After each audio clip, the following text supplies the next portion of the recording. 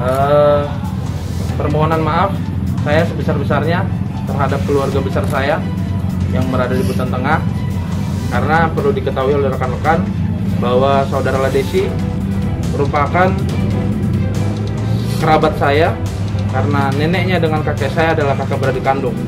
Namun saya harus melaksanakan tugas secara profesional, tindak padang bulu dan secara tegas. Dengan ini saya sampaikan kepada seluruh keluarga besar saya, saya memohon maaf sebesar-besarnya, namun saya harus menjalankan tugas.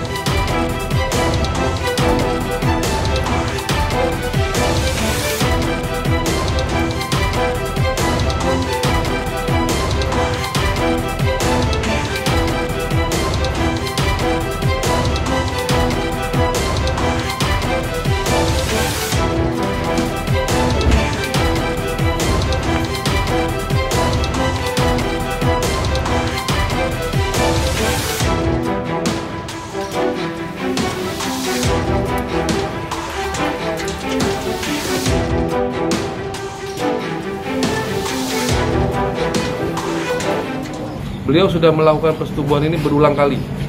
Perbuatan cabul sejak tahun 2015 saat korban masih berusia 14 tahun. Saat itu masih kelas 1 SMP sampai dengan tahun 2021. 2021. Jadi dari 2015 sampai 2021. Saat korban itu sudah dewasa. Dan saat ini korban dalam posisi hamil usia kandungannya 8 bulan.